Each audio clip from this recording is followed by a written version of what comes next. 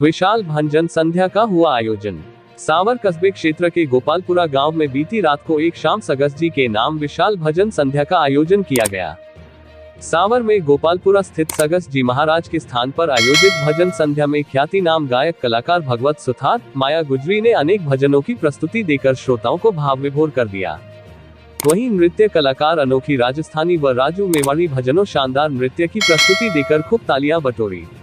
भजन संध्या को लेकर आयोजक डॉक्टर लेखराज मीणा, जैन कमलेश मीणा की ओर से मुख्य अतिथि पूर्व चिकित्सा मंत्री एवं विधायक डॉक्टर रघु शर्मा, पूर्व प्रधान भूपेंद्र सिंह शक्तावत, पूर्व सरपंच महेंद्र सिंह शक्तावत सहित कलाकारों का माल्यार्पण कर व स्मृति चिन्ह देकर सम्मानित किया गया।